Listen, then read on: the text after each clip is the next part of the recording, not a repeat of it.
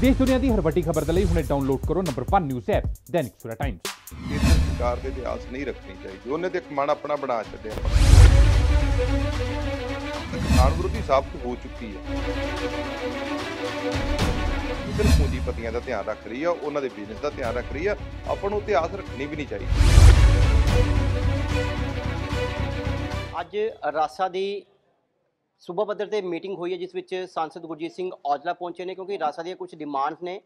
ਉਹਨਾਂ ਦੇ ਸੰਬੰਧ ਵਿੱਚ ਮੰਗ ਪੱਤਰ ਵੀ ਦਿੱਤਾ ਗਿਆ। ਗੱਲਬਾਤ ਵੀ ਕਰਾਂਗੇ ਸੰਸਦ ਗੁਰਜੀਤ ਸਿੰਘ ਔਜਲਾ ਨਾਲ। ਕੀ ਕਹਿਣਾ ਚਾਹੁੰਦੇ ਸਰ? ਰਾਸਾ ਦੀ ਕੀ ਕੀ ਡਿਮਾਂਡਸ ਨੇ ਜਿਹੜੀਆਂ ਤੁਹਾਨੂੰ ਮੰਗ ਪੱਤਰ ਦਿੱਤਾ ਗਿਆ?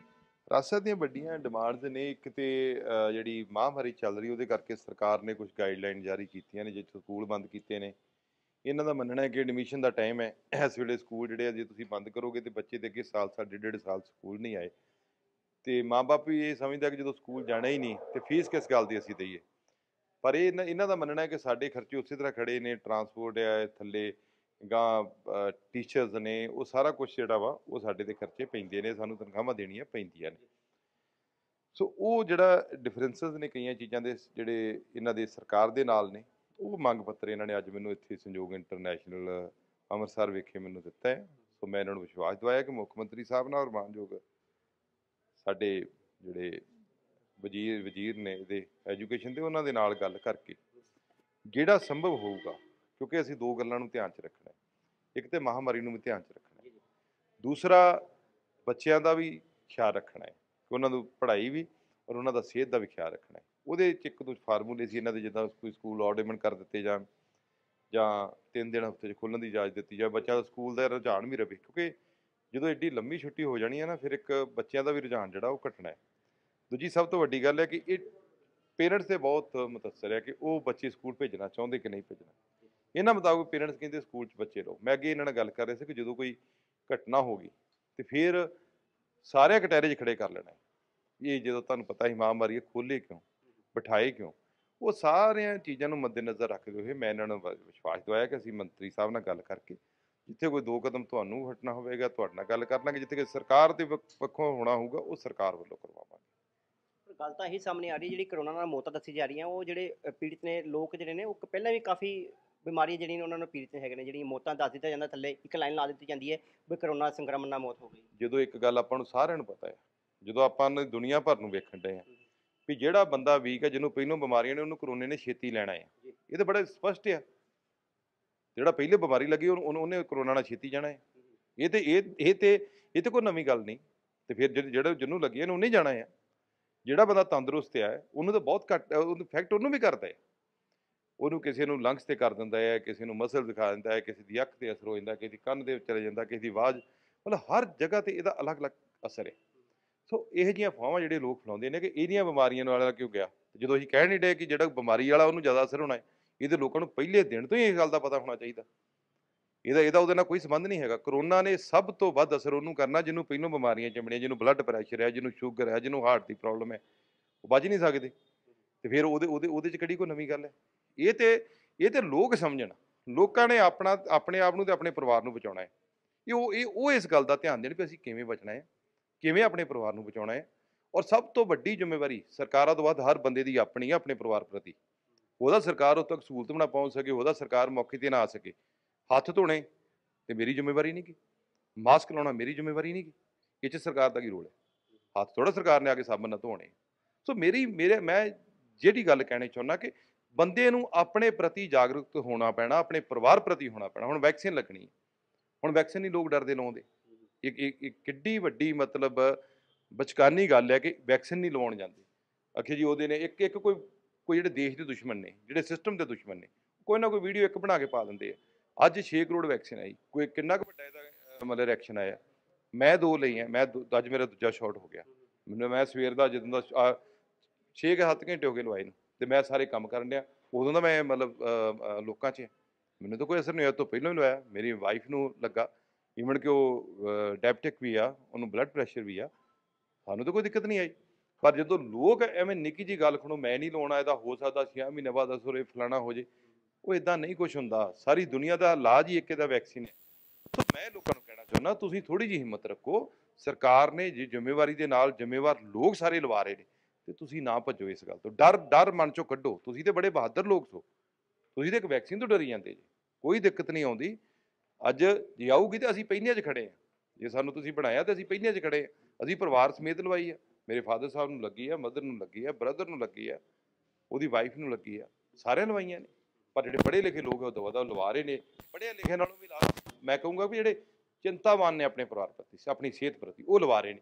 ਜਿਨ੍ਹਾਂ ਨੂੰ ਨਹੀਂ ਚਿੰਤਾ, ਜਾਂ ਜਿਹੜੇ ਮਤਲਬ ਤੁਸੀਂ ਕਹ ਲਓ ਕਿ ਜਿਨ੍ਹਾਂ ਦੀ ਸੋਚ ਸੀਮਤ ਹੈ, ਉਹ ਲੋਕ ਅਫਵਾਹਾਂ ਦੇ ਜ਼ਿਆਦਾ ਅਸਰ ਕਰ ਰਹੇ ਨੇ। ਉਹਨਾਂ ਦੇ ਅਸਰ ਨਾ ਕਰੋ। ਇੱਕੋ ਹੀ ਇਲਾਜ ਆ। ਆ ਸਕੂਲ ਦੀ ਹੋਵੇ, ਕੋਈ ਮੁਸ਼ਕਲ ਆ, ਇਹਦਾ ਇੱਕ ਹੀ ਇਲਾਜ ਆ, ਜਿੰਨਾ ਚਿਰ ਸਾਰੇ ਸਿਸਟਮ ਸਾਰੀ ਸੁਸਾਇਟੀ ਇਸ ਬਿਮਾਰੀ ਤੋਂ ਨਹੀਂ ਬਚਦੀ, ਉਹਨਾਂ ਚਿਰ ਕੋਈ ਹੱਲ ਨਹੀਂ ਹੈਗਾ।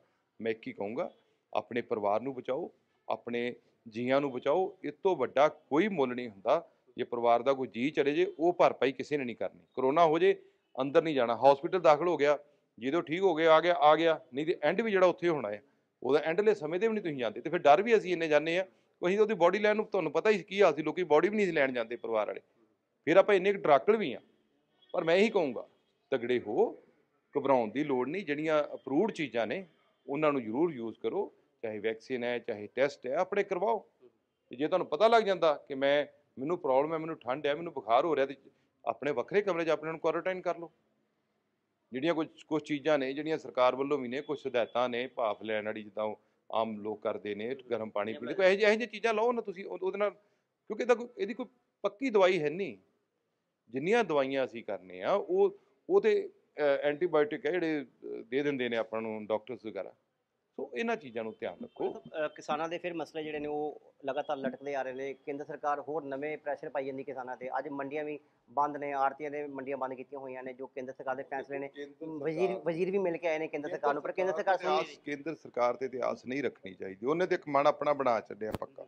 ਉਹ ਤੇ ਕਿਸਾਨ ਵਿਰੋਧੀ ਸਾਬਤ ਹੋ ਚੁੱਕੀ ਆ। ਕਿਸਾਨ ਮਜ਼ਦੂਰ ਆਮ ਲੋਕ ਆ ਜਿੰਨੇ ਵੀ ਖੜੇ ਭਾਵੇਂ ਖੇਤੀ ਨਹੀਂ ਵੀ ਕਰਦੇ ਅਸਰ ਤੇ ਉਹਨਾਂ ਬਿੱਲਾਂ ਦਾ ਸਾਰਿਆਂ ਤੇ ਪੈਣਾ। ਉਹ ਸਾਰਿਆਂ ਦੇ ਵਿਰੁੱਧ ਚ ਇਸ ਵੇਲੇ ਹੋ ਚੁੱਕੀ ਉਹ ਸਿਰਫ ਪੂੰਜੀਪਤੀਆਂ ਦਾ ਧਿਆਨ ਰੱਖ ਰਹੀ ਆ ਉਹਨਾਂ ਦੇ ਬਿਜ਼ਨਸ ਦਾ ਧਿਆਨ ਰੱਖ ਰਹੀ ਆ। ਆਪਾਂ ਨੂੰ ਇਤਿਹਾਸ ਰੱਖਣੀ ਵੀ ਨਹੀਂ ਚਾਹੀਦੀ। ਆਪਾਂ ਨੂੰ ਹੁਣ ਆਪਣਾ ਪਰਿਵਾਰ ਆਪਣਾ ਪੰਜਾਬ ਕਿਵੇਂ ਇਸ ਮੁਸੀਬਤ ਚੋਂ ਨਿਕਲਣਾ ਆ ਉਹਦੇ 'ਚ ਆਪਾਂ ਨੂੰ ਸਾਰਿਆਂ ਨੂੰ ਸਾਥ ਦੇਣਾ ਚਾਹੀਦਾ। ਮੈਂ ਆੜਤੀ ਭਰਾਵਾਂ ਨੂੰ ਬੇਨਤੀ ਕਰਦਾ ਰਿਹਾ ਵੀ ਪੰਜਾਬ ਨੂੰ ਨਿਸ਼ਾਨਾ ਬਣਾਇਆ ਜਾ ਰਿਹਾ ਕਿਉਂਕਿ ਪੰਜਾਬ ਦੇ ਕਿਸਾਨ ਮੋਰੀ ਹੋ ਕੇ ਇਸ ਧਰਨੇ ਤੇ ਜੁਟ ਮੈਂ ਹੁਣ ਦੱਸਦਾ ਨਾ ਉਹੀ ਗੱਲ ਹੈ ਨਾ। ਹੁਣ ਜਿਵੇਂ ਸਿੱਧੀਆਂ ਪੇਮੈਂਟਾਂ ਪਾਉਣ ਦੀ ਗੱਲ ਹੈ। ਹੁਣ ਜਿਹੜੇ ਬਾਕੀ ਸੂਬੇ ਜਿੱਦਾਂ ਹੁਣ ਜਿੱਦਾਂ ਸਾਰਿਆਂ ਨੇ ਕਹਿਤਾ ਜੀ ਅਸੀਂ ਪਵਾ ਲੈਨੇ ਪੇਮੈਂਟ ਯੂਪੀ ਨੇ ਕਹਿਤਾ ਵੱਡਾ ਸੂਬਾ ਯੂਪੀ ਆ, ਬਿਹਾਰ 'ਚ ਪੈ ਰਹੀ ਹੈ ਮੱਧ ਪ੍ਰਦੇਸ਼ 'ਚ ਪੈ ਰਹੀ ਆ ਜਿੱਥੇ ਜਿੱਥੇ ਸਰਕਾਰਾਂ ਨੇ ਇਵਨ ਹਰਿਆਣੇ 'ਚ ਵੀ ਪੈ ਰਹੀ। ਉਹ ਹੁਣ ਲੋਕ ਕੀ ਕਰ ਰਹੇ ਨੇ? ਉਹ ਜਦੋਂ ਸਿੱਧੀ ਪੇਮੈਂਟ ਪੈਣੀ ਹੈ ਹੁਣ ਉਹ ਜਦੋਂ ਕਰ ਰਹੇ ਨੇ, ਇੱਕ ਪੰਜਾਬ ਕਹਿ ਰਿਹਾ ਜੀ ਮੈਨੂੰ ਆੜਤੀਆਂ ਦੇ ਮਤਲਬ ਥਰੂ ਚਾਹੀਦੀ ਹੈ ਕਿਉਂਕਿ ਸਾਡੇ ਸਿਸਟਮ ਖਰਾਬ ਨਹੀਂਗਾ ਜਿਹੜੀ ਜਿਹੜੀ ਇਹ ਇਹ ਚਿੰਤਾ ਕਰਦੇ ਆ, ਉਹ ਯੂਪੀ ਬਿਹਾਰ ਦੀ ਹੈ ਸਾਡੇ ਦੀ ਕੋਈ ਚਿੰਤਾ ਨਹੀਂ, ਸਾਡਾ ਆੜਤੀ ਦਾ ਤੇ ਕਿਸਾਨ ਦਾ ਬੜਾ ਗਾੜਾ ਰਿਸ਼ਤਾ ਹੈ ਇਹਨਾਂ ਨੂੰ ਇਸ ਕਰਕੇ ਕਾਨੂੰਨ ਚਾਹੀਦੇ ਵੀ ਆਪੇ ਆਪੇ ਸਟੇਟ ਜਿਹੜੀ ਚਾਹੁੰਦੀ ਉਹ ਲਾਗੂ ਕਰ ਜਿਹੜੀ ਨਹੀਂ ਚਾਹੁੰਦੀ ਉਹ ਨਾ ਕਰੇ। ਉਸ ਰਿਸ਼ਤੇ ਨੂੰ ਪਾੜਾ ਪਾਉਣ ਵਾਸਤੇ ਫਿਰ ਉਹ ਤਾਂ ਹੈ ਹੀ ਇਹ ਕੁਦਰਤੀ ਗੱਲ ਹੈ ਉਹ ਉਹ ਬਹਾਨਾ ਇਹ ਕਹਿੰਦੀ ਹੈ ਜੀ ਜਦੋਂ ਸਾਰੇ ਦੇਸ਼ ਦੇ ਸੂਬੇ ਬੰਨੜੇ ਤੁਸੀਂ ਤੁਸੀਂ ਕਿਉਂ ਨਹੀਂ ਸਿੱਧੀਆਂ ਪੇਮੈਂਟ ਨੂੰ ਮੰਨਦੇ? ਪਰ ਸਾਡੀ ਸਾਡੀ ਉਹ ਤਕਲੀਫ ਨਹੀਂ ਹੈਗੀ ਜਿਹੜੀ ਦੂਜੇ ਸੂਬਿਆਂ ਦੀ ਤਕਲੀਫ ਹੈ ਸਾਡਾ ਹੁਣ ਆਰਥਿਕ ਤੰਤਰ ਏਡਾ ਵਧੀਆ ਹੈ ਕਿ ਸਾਰੇ ਸਾਰੇ ਲੋਕ ਵੇਲੇ ਕਵੇਲੇ ਆਪਣੇ ਪੈਸੇ ਉਹਦੇ ਤੋਂ ਲੈ ਕੇ ਵਰਤ ਸਕਦੇ। ਹੁਣ ਗਾਂ ਕਿਸੇ ਨੇ ਕਿਸੇ ਦਾ ਟਾਈਮ ਨਹੀਂ ਸਾਰਨਾ।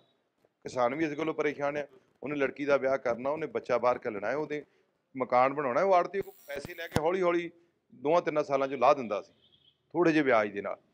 ਉਹਦਾ ਇੱਕ ਧਿਰ ਸੀ, ਉਹ ਖਤਮ ਹੋ ਗਈ। ਹੁਣ ਆੜਤੀ ਵੀਰਾਂ ਨੂੰ ਵੀ ਬੇਨਤੀ ਕਰਦੇ ਵੀ ਹੁਣ ਉਹਨਾਂ ਨੇ ਜੋ ਬੇਮੁਖ ਹੋ ਗਿਆ ਆਪਾਂ ਤੇ ਪੰਜਾਬ ਨੂੰ ਬਚਾਈਏ ਨਾ, ਆਪਾਂ ਹੁਣ ਵੇਖੋ, ਜੇ ਤੁਸੀਂ ਵੀ ਸਾਈਡ ਤੇ ਹੋ ਜਾਓਗੇ ਤੇ ਫਿਰ ਹੋਰ ਵੱਡੀ ਵੱਡੀ ਖਲਾਅ ਪੈਦਾ ਹੋਣਾ ਆ। ਸੋ ਉਹਨਾਂ ਨੂੰ ਵੀ ਰਿਕੁਐਸਟ ਕਰਦੇ ਆ ਵੀ ਉਹ ਤੇ ਹੁਣ ਉਹਨਾਂ ਨੇ ਤੇ ਤੁਹਾਡੇ ਸਾਹਮਣੇ ਮੰਤਰੀ ਵੀ ਜਾਏ, ਅਸੀਂ ਵੀ ਉਹਨਾਂ ਨੂੰ ਰਿਕੁਐਸਟ ਕਰ ਹਟੇ ਆ। ਸਾਡੇ ਮੁੱਖ ਮੰਤਰੀ ਸਾਹਿਬ ਨੇ ਆਨਲਾਈਨ ਹੋ ਕੇ ਉਹਨਾਂ ਨੂੰ ਰਿਕੁਐਸਟ ਕੀਤੀ ਔਰ ਬੜਾ ਸਖਤ ਸਟੈਂਡ ਲਿਆ।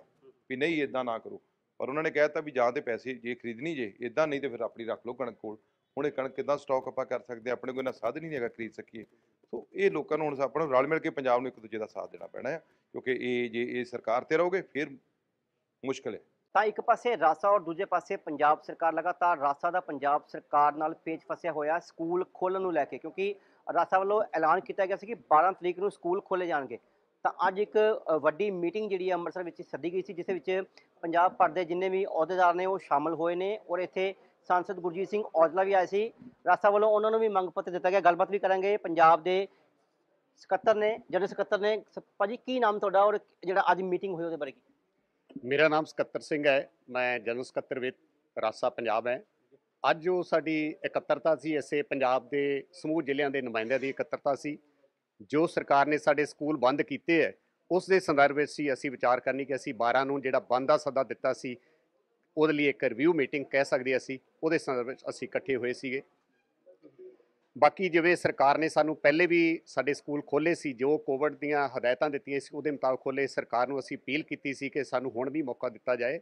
ਅਸੀਂ ਬੱਚਿਆਂ ਦੀ ਜਿਹੜੀ ਆ ਜੋ ਵੀ ਹੈ ਸੋਸ਼ਲ ਡਿਸਟੈਂਸ ਦੀ ਪਾਲਣਾ ਕਰਕੇ ਅਸੀਂ ਉਹ ਬੱਚਿਆਂ ਨੂੰ ਗੱਲ ਕਲੀਅਰ ਕਰਿਓ 12 ਤਰੀਕ ਨੂੰ ਸਕੂਲ ਖੋਲਣ ਦਾ ਐਲਾਨ ਕੀਤਾ ਸੀ? ਬਿਲਕੁਲ ਕੀਤਾ ਸੀਗਾ।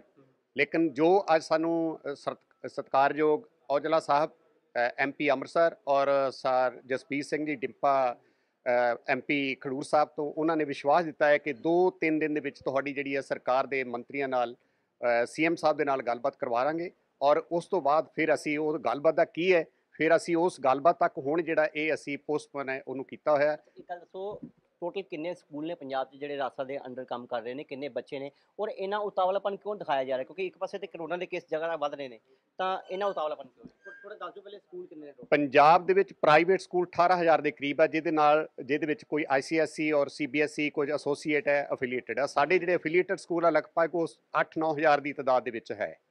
ਔਰ ਇਹਦੇ ਵਿੱਚ ਐਵਰੇਜ ਵੀ ਅਸੀਂ ਲਾਈਏ, ਤੇ ਲੱਖਾਂ ਦੀ ਤਦਾਦ ਦੇ ਵਿੱਚ ਇਹਦੇ ਵਿੱਚ ਬੱਚੇ ਜਿਹੜੇ ਸਾਡੇ ਕੋਲ ਪੜ੍ਹਦੇ ਆ। ਔਰ ਇਹਨਾਂ ਨਾਲ ਜਿਵੇਂ ਕਿ ਅਸੀਂ ਪੋਸਟਪੋਨ ਕੀਤਾ ਸੀਗਾ 12 ਤਰੀਕ ਤੋਂ। ਅਸੀਂ ਉਸ ਪੀਰੀਅਡ ਦੇ ਦੌਰਾਨ ਮਾਪਿਆਂ ਕੋ ਜਿਹੜੇ ਐਫੀਡੇਵਿਟ ਲੈ ਰਹੇ ਹਾਂ ਅਸੀਂ, ਜਿਹੜੇ ਸਾਨੂੰ ਸਹਿਮਤੀ ਦਿੰਦੇ ਆ, ਸਾਨੂੰ ਉਮੀਦ ਆ ਕਿ ਅਸੀਂ ਇਹ ਅੰਦਾਜ਼ਨ 5 ਤੋਂ 6 ਲੱਖ ਜਿਹੜੇ ਮਾਪਿਆਂ ਦੇ ਜਿਹੜੇ ਉਹ- ਉਦੋਂ ਤੱਕ ਅਸੀਂ ਇਸ, ਉਹਨਾਂ ਕੋ ਐਫੀਡੇਵਿਟ ਲੈ ਲਾਂਗੇ ਸਕੂਲ ਖੋਲਣ ਦੇ ਲਈ। ਇੱਕ ਪਾਸੇ ਕਰੋਨਾ ਦੇ ਕੇਸ ਵੱਧ ਰਹੇ ਨੇ। ਸਕੂਲ ਸਰਕਾਰ ਵੱਲੋਂ ਖੋਲੇ ਵੀ ਗਏ ਸੀ, ਪਰ ਦੁਬਾਰਾ ਫੇਰ ਬੰਦ ਕਰ ਦਿੱਤੇ ਗਏ। ਤੇ ਤੁਸੀਂ ਚਾਹਦੇ ਜਥੇਬੰਦੀ ਕਿਉਂ ਸਕੂਲ ਖੁਲਵਾਉਣਾ ਚਾਹੁੰਦੀ ਹੈ? ਕਿਉਂਕਿ ਦਿੱਕਤ ਕਿਉਂ ਬੱਚਿਆਂ ਨੂੰ ਜ਼ਿਆਦਾ ਦਿੱਕਤ ਆ ਸਕਦੀ ਹੈ? ਸਭ ਤੋਂ ਸਰ, ਸਭ ਤੋਂ ਪਹਿਲਾਂ ਅਸੀਂ ਵੀ ਮਾਪੇ ਆ ਸਾਡੇ ਵੀ ਬੱਚੇ ਆ। ਔਰ ਅਸੀਂ ਸਾਰੇ ਪੀੜਤ ਹਾਂ, ਚਾਹੇ ਤੁਸੀਂ ਪ੍ਰੈਸ ਨਾਲ ਜੁੜੇ ਹੋਏ ਹੋ। ਬੱਚਿਆਂ ਦੀ ਪੜ੍ਹਾਈ ਦਾ ਨੁਕਸਾਨ ਤਾਂ ਹੋ ਹੀ ਰਿਹਾ। ਉਹਨਾਂ ਦੀ ਸਰੀਰਕ ਜਿਹੜਾ ਉਹ ਵੀ ਨੁਕਸਾਨ ਹੋ ਰਿਹਾ ਮਾਨਸਿਕ ਪੱਧਰ ਵੀ ਉਹਨਾਂ ਦਾ ਨੀਵਾ ਹੋ ਰਿਹਾ। ਉਹਨਾਂ ਦਾ ਸੁਭਾਅ ਜਿਹੜਾ ਚਿੜਚਿੜਾ ਬਣ ਰਿਹਾ। ਸਾਡਾ ਪੰਜਾਬ ਦਾ ਭਵਿੱਖ ਜਿਹੜਾ ਉਹ ਤਬਾਹ ਹੋ ਰਿਹਾ ਅਸੀਂ ਇਸ ਲਈ ਸਕੂਲ ਖੋਲ ਰਹੇ ਹਾਂ। ਕੇਵਲ ਅਸੀਂ ਆਪਣੀ ਆਰਥਿਕਤਾ ਦੀ ਦੁਹਾਈ ਪੈ ਰਿਹਾ ਨਹੀਂ ਕਰ ਰਹੇ। ਅਸੀਂ ਬੱਚਿਆਂ ਦੇ ਭਵਿੱਖ ਨਾਲ ਖਿਲਵਾੜ ਹੋ ਰਿਹਾ ਅਸੀਂ ਉਹਦੇ ਕਰਕੇ ਕਰ ਰਹੇ ਪਰ ਆਨਲਾਈਨ ਕਲਾਸਾਂ ਤੇ ਚੱਲ ਰਹੀਆਂ ਨਾ ਜੀ। ਆਨਲਾਈਨ ਜਿਹੜਾ ਪੜ੍ਹਾ ਸਕਦੇ ਹੋ ਤੁਸੀਂ। ਹਾਂ ਆਨਲਾਈਨ ਕਲਾਸ ਜੋ ਫਿਜ਼ੀਕਲੀ ਆਫਲਾਈਨ ਕਲਾਸ ਆ ਉਹਦੇ ਕੰਪੈਰੀਟਿਵਲੀ ਉਹਦੀ ਜਿਹੜੀ ਆਊਟਪੁੱਟ ਆ ਬਹੁਤ ਮਾਈਨਸ ਹੈ। ਅਸੀਂ ਉਹ ਜੋ ਫਿਜ਼ੀਕਲੀ ਕਲਾਸ ਲੈ ਕੇ ਕਰਾ ਸਕਦੇ ਉਹ ਆਨਲਾਈਨ ਹੀ ਕਰਾ ਸਕਦੇ ਤੁਸੀਂ ਕੋਈ ਅਲਟੀਮੇਟਮ ਦਿੱਤਾ ਹੈ? ਕਿਉਂਕਿ ਤੁਸੀਂ ਕਹਿ ਰਹੇ ਹੋ ਜਸਬੀਰ ਸਿੰਘ ਡਿੰਪਾ ਨਾਲ ਗੱਲ ਹੋ ਗਈ ਸੰਸਦ ਗੁਰਜੀਤ ਸਿੰਘ ਔਜਲਾ ਨਾਲ ਤੁਹਾਡੀ ਗੱਲ ਹੋਈ ਹੈ ਕੀ ਮੰਗਾਂ ਦਿੱਤੀਆਂ ਨੇ ਔਰ ਕੀ ਉਹਨਾਂ ਨੇ ਵਿਸ਼ਵਾਸ ਦਿਵਾਇਆ?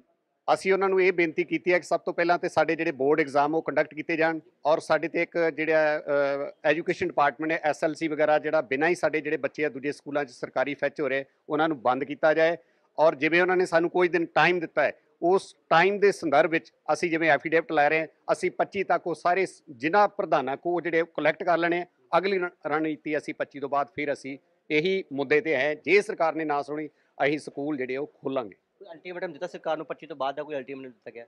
ਦੇਖੋ ਸਰਕਾਰ ਕੋਸ਼ਿਸ਼ ਕੀਤੀ ਜਾਏਗੀ ਸੀਐਮ ਨਾਲ ਜਾਂ ਸਿੱਖਿਆ ਮੰਤਰੀ ਨਾਲ। ਹਾਂ ਸਾਨੂੰ ਉਹਨਾਂ ਨੇ ਵਿਸ਼ਵਾਸ ਦਿਵਾਇਆ ਹੈ ਕਿ ਸੀਐਮ ਸਾਹਿਬ ਦੇ ਨਾਲ ਅਸੀਂ ਤੁਹਾਡੀ ਗੱਲ ਕਰਾਵਾਂਗੇ। ਉਹ ਸੀਐਮ ਸਾਹਿਬ ਨਾਲ ਕੀ ਗੱਲ ਹੁੰਦੀ ਉਸ ਤੋਂ ਬਾਅਦ ਅਸੀਂ ਅਗਲਾ ਜਿਹੜਾ ਐਕਸ਼ਨ ਪਲਾਨ ਉਹ ਕਰਾਂਗੇ। ਤੇ ਐਸਨ ਰਾਸਾ ਦੇ ਅਹੁਦੇਦਾਰ ਜਿਹੜੇ ਕਿ ਅੱਜ ਅੰਮ੍ਰਿਤਸਰ ਪਹੁੰਚੇ ਹੋਏ ਤੁਹਾਨੂੰ ਦੱਸ ਦਈਏ ਲਗਾਤਾਰ ਸਕੂਲ ਜਿਹੜੇ ਬੰਦ ਚੱਲ ਰਹੇ ਨੇ ਔਰ ਬੱਚਿਆਂ ਦਾ ਭਵਿੱਖ ਜਿਹੜਾ ਅਧਰ ਵਿੱਚ ਲਟਕਿਆ ਹੋਇਆ ਔਰ ਲਗਾਤਾਰ ਰਾਸਾ ਵੱਲੋਂ ਇਹ ਡਿਮਾਂਡ ਕੀਤੀ ਜਾ ਰਹੀ ਹੈ ਪੰਜਾਬ ਸਰਕਾਰ ਨੂੰ। ਵੀ ਸਕੂਲ ਜਿਹੜੇ ਨੇ ਖੋਲੇ ਜਾਣ ਕਿਉਂਕਿ ਆਨਲਾਈਨ ਜਿਹੜੀ ਪੜ੍ਹਾਈ ਹੈ ਉਹ ਕਿਸੇ ਵੀ ਪੱਧਰ ਤੇ ਬੱਚਿਆਂ ਵਾਸਤੇ ਸਹੀ ਨਹੀਂ ਹੈ। ਔਰ ਦੂਜੇ ਪਾਸੇ ਅੱਜ ਸੰਸਦ ਗੁਰਜੀਤ ਸਿੰਘ ਔਜਲਾ ਵੀ ਇੱਥੇ ਪਹੁੰਚੇ ਸੀ, ਉਹਨਾਂ ਨੂੰ ਮੰਗ ਪੱਤਰ ਦਿੱਤਾ ਗਿਆ ਔਰ 25 ਤਰੀਕ ਤੱਕ ਅਲਟੀਮੇਟਮ ਦਿੱਤਾ ਗਿਆ ਸਰਕਾਰ ਨੂੰ, ਜੇਕਰ ਮੰਗਾਂ ਰਾਸਾ ਦੀਆਂ ਨਹੀਂ ਮੰਨੀਆਂ ਜਾਂਦੀਆਂ, ਅਗਲਾ ਪਲਾਨ ਆਫ ਐਕਸ਼ਨ ਜਿਹੜਾ ਉਹ ਉਲੀਕਿਆ ਜਾਵੇਗਾ। ਕੈਮਰਾ ਪਰਸਨ ਮੁਕੇਸ਼ ਬਾਵਾ ਨਾਲ Sikandar Pasricha, Dainik Savera TV, Amritsar. All World Open Challenge 17 time gold medalist Mia Rafiq Mohammed ਪੰਡਿਤ ਮੌਲਵੀ ਬੇਗਮ ਤਾਂਤਰਿਕ ਇਹਨਾਂ ਚੋਰਾ ਠੱਗਾਂ ਤੋਂ ਸਾਵਧਾਨ ਸਪੈਸ਼ਲਿਸਟ ਵਸ਼ੀਕਰਨ ਸੱਟਾ ਨੰਬਰ ਲਵ ਮੈਰਿਜ ਪਤੀ ਪਤਨੀ ਚ ਅਨਬਨ ਵਿਦੇਸ਼ ਚ ਪੱਕਾ ਹੋਣਾ ਕਾਰੋਬਾਰ ਦਾ ਨਾ ਚੱਲਣਾ ਸਿਰਫ 31 ਘੰਟਿਆਂ ਵਿੱਚ ਸਮਾਧਾਨ free free free Mian Rafiq Muhammad mobile 8437 94647 84374 94648 ਪੰਡਿਤ ਰਾਧੇ ਸ਼ਰਮਾ ਚਮਤਕਾਰ ਹੁੰਦੇ ਵੇਖੋ ਆਪਣੀਆਂ ਅੱਖਾਂ ਦੇ ਸਾਹਮਣੇ 24 ਘੰਟੇ ਵਿੱਚ ਪਾਓ ਹਰ ਪਰੇਸ਼ਾਨੀ ਦਾ ਹੱਲ ਮੁਸਲਮਾਨੀ ਰੂਹਾਨੀ ਤੇ ਕਾਲੇ ਇਲਮ ਦੇ ਬਾਦਸ਼ਾਹ ਮੇਰੇ ਕੀਤੇ ਨੂੰ ਮੇਰੇ ਤੋਂ ਇਲਾਵਾ ਕੋਈ ਕੱਟ ਨਹੀਂ ਸਕਦਾ ਮੋੜੀ ਵਸ਼ੀਕਰਨ ਕਰਵਾਓ ਮਨਚਾਹਾ ਪਿਆਰ ਪਾਓ ਲਵ ਮੈਰਿਜ ਸੌਤਨ ਦੁਸ਼ਮਣ ਤੋਂ ਛੁਟਕਾਰਾ ਤਲਾਕ ਕੇਸ ਜ਼ਮੀਨੀ ਝਗੜਾ ਨੌਕਰੀ ਕਾਰੋਬਾਰ ਚ ਰੁਕਾਵਟ ਵਿਦੇਸ਼ ਯਾਤਰਾ ਲੋਟਰੀ ਤੋਂ ਤੁਹਾਨੂੰ ਮਿਲੇਗਾ ਜਾਂ ਨਹੀਂ ਸੱਚਾਈ ਜਾਣੋ ਲੋਟਰੀ ਨੰਬਰ ਪਾਓ 649 ਹੋਵੇ ਜਾਂ ਲੋਟੋ ਮੈਕਸ ਤੁਹਾਡੀ ਹਰ ਗੱਲ 100% ਗੁਪਤ ਰੱਖੀ ਜਾਵੇਗੀ ਪਿਆਰ ਵਿੱਚ ਧੋਖਾ ਖਾਏ ਪ੍ਰੇਮੀ ਪ੍ਰੇਮਿਕਾ ਇੱਕ ਵਾਰ ਜ਼ਰੂਰ ਮਿਲੋ ਮੈਂ ਤੁਹਾਡਾ ਪਿਆਰ ਟੁੱਟਣ ਨਹੀਂ ਦੇਵਾਂਗਾ ਮੋਬਾਈਲ 98768 045 80 85 588 38617